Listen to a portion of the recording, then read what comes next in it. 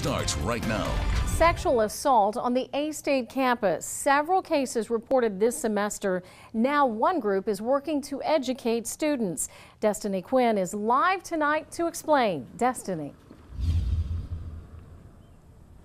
That's right, Diana. I am on the A State campus where, according to UPD's activity log, there has been six sexual assaults cases since the semester began, and A State is working to keep students safe. College campuses around the nation strive to inform their students about the measures they can take when it comes to sexual assault. The A State campus is no different. The university has put an emphasis on educating their students about how to handle sexual assault. Uh, starting with Impact, which is our new student group that is peer-to-peer mentoring on what is consent and what is sexual assault, uh, along with the continuation of the PAC PACT program. The Associate Vice Chancellor for Marketing and Communications, Dr. Bill Smith, realizes the value of having programs like these in place. Part of taking the PAC PACT is saying that you will look out for your fellow classmate and you will stand up for your fellow classmate.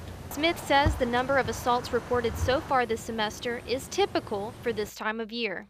It is the time of year, according to national statistics, where you're bringing new students onto campus or students returning to campus. There are events uh, on campus a lot during the fall that, that foster these type of uh, incidents. Tanisha Tuck is part of the new group called Impact, which stands for Influence More People to Act for Change Together. Her goal to help students know what resources are available. We have police escorts if you're not uh, feeling safe on the campus during the nighttime, and how I know what to do, have a friend with me, or have um, the police on speed dial and stuff like that. So I do feel safe at A State.